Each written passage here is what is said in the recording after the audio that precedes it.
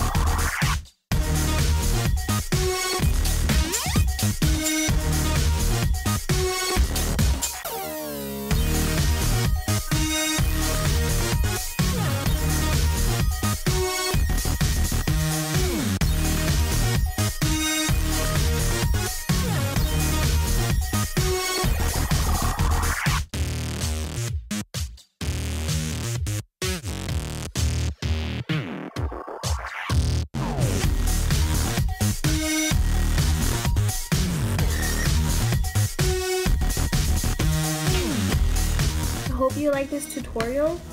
A little pink uh, glitter cut crease.